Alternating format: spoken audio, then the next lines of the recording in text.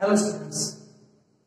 In last video lecture, we will discuss about magnetic field at point P, at point P on the axis due to current carrying circular coil.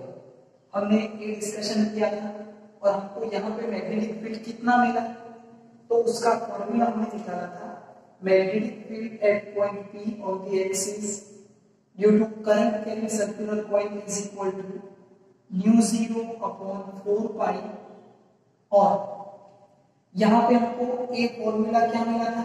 याद कीजिए। Yes two I A divide by A square x square three by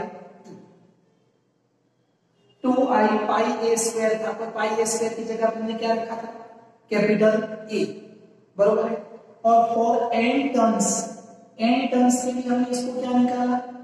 N I A for N terms ये हमको magnetic field का formula मिला था। Okay अब ये जो पार्ट है, two N I A, two N I A इसको हम बोलते हैं मैग्नेटिक डाइपोल मोमेंट क्या बोलते हैं? मैग्नेटिक डाइपोल मोमेंट अब ये मैग्नेटिक डाइपोल मोमेंट क्या है? कहाँ से यूज़ करें मैग्नेटिक डाइपोल मोमेंट तो आपने चैप्टर नंबर वन में इलेक्ट्रिक डाइपोल मोमेंट के बारे में पढ़ा है। इलेक्ट्रिक डाइपोल मोमेंट यहाँ पे देखना। इलेक्ट्रिक डाइपोल मोमेंट क्या होता है? यहाँ पे एक चार्ज है माइनस क्यू यहाँ पे चार्ज है प्लस क्यू तो यहाँ से एक्स डिस्टेंस पे हमको इलेक्ट्रिक डाइपोल मोमेंट मिलता है। और electric dipole moment due to electric field या तो electric field due to electric dipole moment देखिए।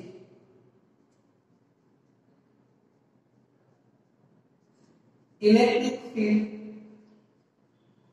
due to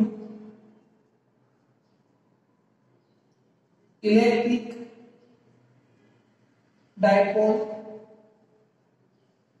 moment और एक इलेक्ट्रिक फ़ील्ड कितना मिला हमको तो electric field E is equal to कितना इलेक्ट्रिक फ़ील्ड मिला था? यहाँ पे नोट करते हैं।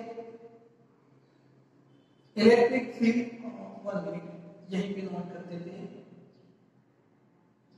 E is equal to one upon four pi epsilon zero two p upon x cube इतना मिला था? Okay and what is p here p is equal to two q l this is value of p and this is the electric dipole moment electric dipole moment p is equal to 2ql electric dipole moment okay okay? यहाँ पे इसको अच्छे से समझना। देखिए ये क्या हुआ इलेक्ट्रिक डाइपोल मोमेंट आपने चैप्टर नंबर वन में पढ़ा है। माइनस प्लस अब इसको एक चार्ज को हम अगर दो में डिवाइड करते हैं, उसको बोलते हैं डाइपोल ओके तो ये हमको इलेक्ट्रिक डाइपोल मिला। अब इलेक्ट्रिक डाइपोल मोमेंट को इसके साथ क्यों रिलेटेड करते हैं? अब इसमें देखिए if this distance a a compare to the x a is a very small distance a is a very small तो अगर ए को हम एक्स के विथ रिस्पेक्ट टू बहुत स्मॉल कैलकुलेट करते हैं here a less than less than x तो हमको एक फॉर्मूला क्या मिलेगा? Is equal to mu 0 upon 4 pi 2 n i a 2 n i a divide by a. हमने यहाँ से नेग्लेक्ट किया।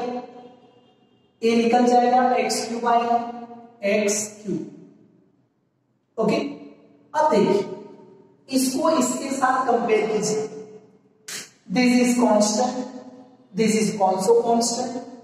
2 2 P की जगह पे Q इंटू एल यहाँ पे n i a x cube x cube इसको हम बोलते हैं magnetic field due to magnetic dipole moment ये कौन सा डायपोल मोमेंट था? Electric dipole moment due to electric field magnetic dipole moment due to magnetic field यहाँ पे देखिए एक magnetic magnetic field due to magnetic dipole moment. Okay, अब इसको ज़्यादा समझिए देखिए। यहाँ पे करंट ऐसे फ्लो हो रहा है। हमको पता है कि करंट अगर ऐसे क्लॉकवाइज फ्लो होगा तो यहाँ पे कौन सा पोल जनरेट होता है? साउथ पोल एंटी क्लॉकवाइज तो नॉर्थ पोल तो ये हमने क्या किया? एक कॉइल है, यहाँ पे एक बार मैग्नेट को रख दिया। किसको रखा? बार मैग्नेट बार मैग्नेट को रखा तो यहाँ पे नॉर्थ पोल और यहाँ पे साउथ पोल जनरेट हुआ। If current is flowing in this direction, if current is flowing in this direction, this is south, this is north. But in short जैसे हमने बार मैग्नेट को इस कॉइल के अंदर रखा, यहाँ पे क्या जनरेट हुआ? मैग्नेटिक डायपोल और डायपोल मीन्स क्या? नॉर्थ पोल साउथ पोल तो यहाँ पे देखिए, इसको समझिए। Magnetic dipole moment magnetic dipole moment for bar magnet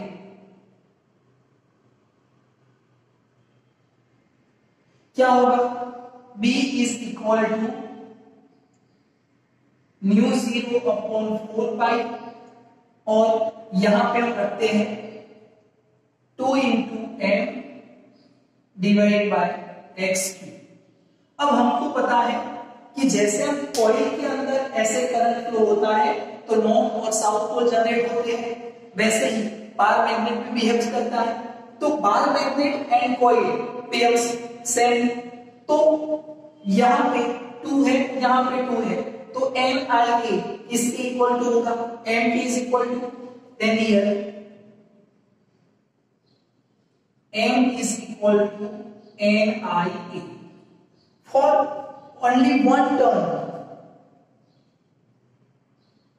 for n is equal to 1 m is equal to i into a. And this is most important formula okay? इसको जाके हम आगे स्टडी करेंगे, जब हम एटम के बारे में स्टडी करेंगे. ओके तो इसको हमने अभी क्यों स्टडी किया? बिकॉज़ इसको हम इलेक्ट्रिक डायपोल मोमेंट के साथ कंपेयर करेंगे तो हमको इजीली मैग्नेटिक डायपोल मोमेंट समझ में आएगा.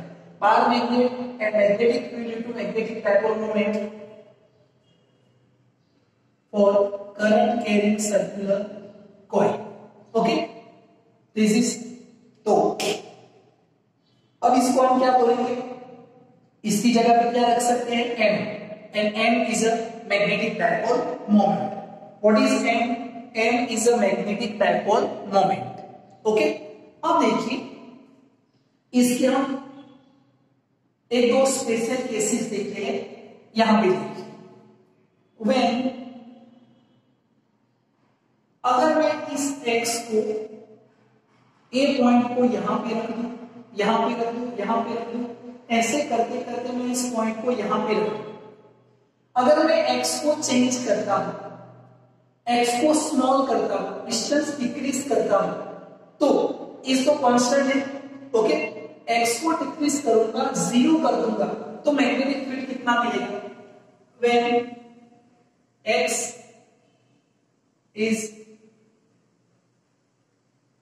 is weakened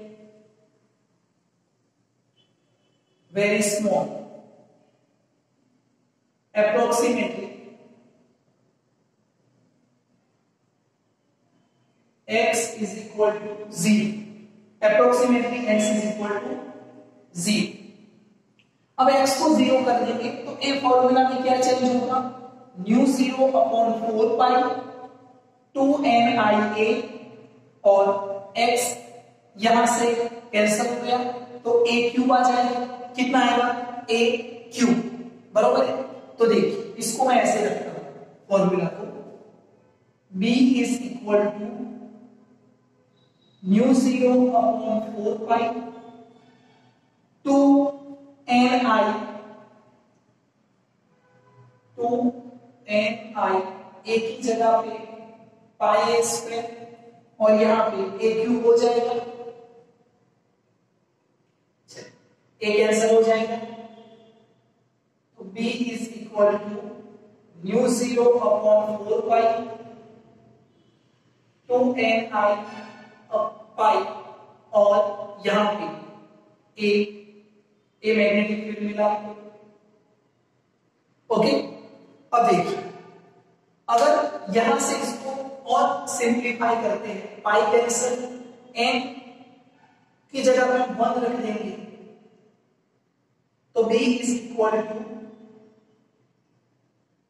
mu zero a two divide by two a याद कीजिए आपने ये फॉर्मूला ऑलरेडी निकाला हुआ है डिवाइड किया हुआ है। कब?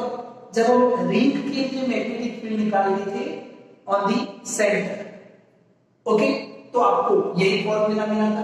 तो हमने इसको भी सेंटर कर दिया। एक्स को ज़ीरो कर दिया, ये ऐसे आ जाएगा अब मैग्नेटिक फ़ील्ड की स्ट्रेंथ कहाँ पे ज़्यादा होती है? यहाँ पे ज़्यादा होती है, यहाँ पे ज़्यादा होती है, यहाँ पे ज़्यादा होती है, या इस तरफ़ ज़्यादा होती है? मैग्नेटिक फ़ील्ड कहाँ पे स्ट्रॉन्ग होगा? तो देखिए, जिसका डिनोमिनेटर छोटा होगा, वहाँ पे मैग्नेटिक फ़ील्ड ज़्यादा होगा। डिनोमिनेटर छोटा कब होगा? जब ए डिस्टेंस डिक्रीज होगा। डिस्टेंस को डिक्रीज करेंगे, तब डिनोमिनेटर छोटा हो जाएगा। तो मैग्नेटिक फ़ील्ड की स्ट्रेंथ कहाँ पे ज़्यादा होती है? सेंटर कहाँ पे ज़्यादा होती है? सेंटर इसका हम ग्राफ बनाते हैं ऐसे कि मैग्नेटिक फ़ील्ड जो है ए माइनस एक्स होता है और इस तरफ़ प्लस एक्स होता है ए माइनस ये सेंटर तो magnetic field like this S ऐसे हमको मैग्नेटिक फ़ील्ड मिलता है। तो ये आपको याद रखना है अच्छे से कि मैग्नेटिक फ़ील्ड कहाँ पे ज़्यादा और कहाँ पे कम होता है। बरोबर है? तो ये आपको याद रखना है। क्लियर है? तो this is all about magnetic field at point P on the axis due to current carrying circular coil or this is all about magnetic dipole. This is electric dipole moment and this is magnetic dipole moment. Current is a magnetic dipole moment. Clear है इसको अच्छे से याद रखना समझना और खूब practice करना इसको अगर आप इसको ऐसे छोड़ देंगे नहीं समझ